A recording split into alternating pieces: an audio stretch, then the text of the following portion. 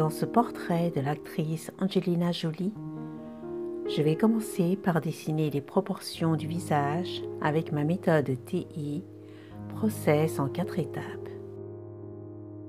Pour bien débuter, suivez pas à pas mes tutoriels illustrés pour apprendre les bases du portrait.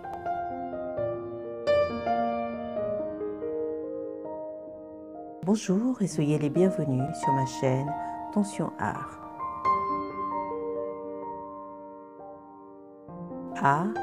Méthode TI, process en quatre étapes. Étape 1. Observation du contour de la tête. En observant et en analysant le portrait, je constate que l'axe de la tête penche vers la gauche tandis que celui du cou reste droit. L'astuce pour construire la tête est d'imaginer un rectangle avec des lignes de repère internes. Ce qui me sert de repère et de mesure pour tracer les proportions du cou et de la coiffure. Ici, le visage est de face avec une vue en léger contre-plongée. Étape 2, proportion en croix et segmentation. Je place la croix passant par le milieu du visage et la ligne horizontale des yeux. Puis, je trace les segments nez et bouche. Étape 3, le triangle inversé. je dessine la base du triangle inversé qui correspond à la ligne des sourcils, puis je trace les deux côtés qui pointent vers le menton.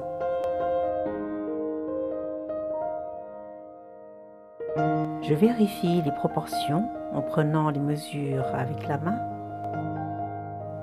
ou sinon en me servant de mon crayon. Étape 4 Placez les oreilles. La vue en contre-plongée crée une déformation. L'astuce est de prolonger les deux courbes bleues, l'une partant de la pointe des sourcils et l'autre de la base du nez. Si vous débutez, la méthode TI est une base solide pour réussir les proportions de vos portraits. B. Détail TI.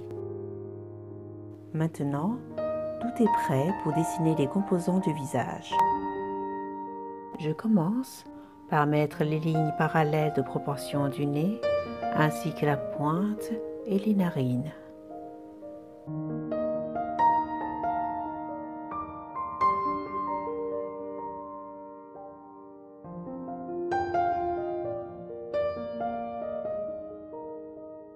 Ensuite, j'esquisse les sourcils et les orbites.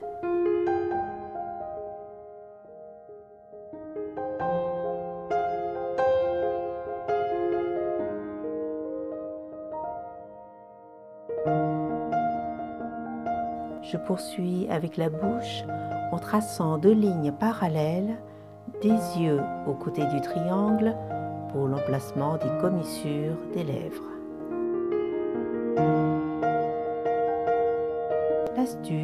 Pour réussir la bouche est aussi de dessiner deux faits juste sous le filtre.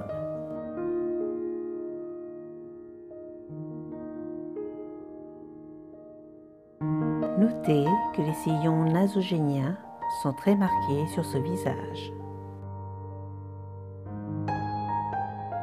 Puis, je dessine la largeur du menton en l'alignant aux deux lignes parallèles de la bouche. Ensuite, je place les lignes des pommettes saillantes ainsi que les mâchoires carrées.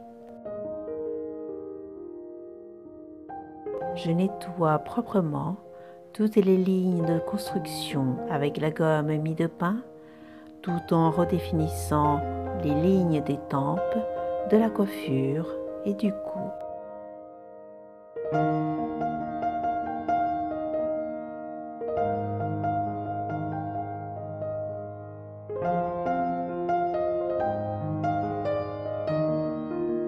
Maintenant, je vais dessiner les détails des yeux, du nez, des oreilles et du contour du visage. Pour comprendre la forme des yeux et son emplacement, imaginez les globes oculaires en dessous.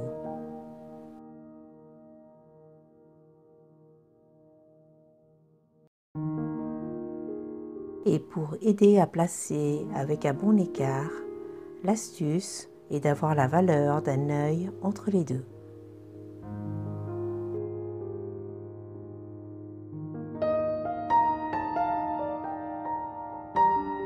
La difficulté dans ce portrait est que le visage est en contre-plongée, ce qui accentue la vue des narines.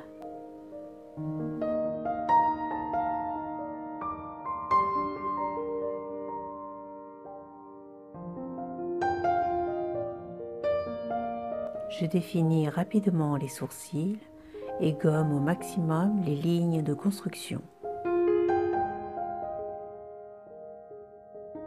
En dernier, j'esquisse les mouvements de la chevelure qui retombent sur les épaules d'Angelina Jolie. Pour me suivre, vous pouvez vous inscrire à ma newsletter sur mon site magieduportrait.com. Retrouvez dans la prochaine vidéo un tutoriel complet sur la technique du fusain.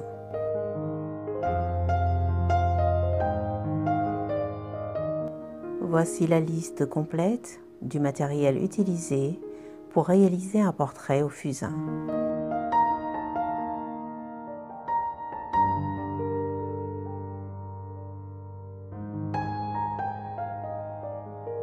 En attendant la suite, abonnez-vous et likez afin de soutenir mon travail.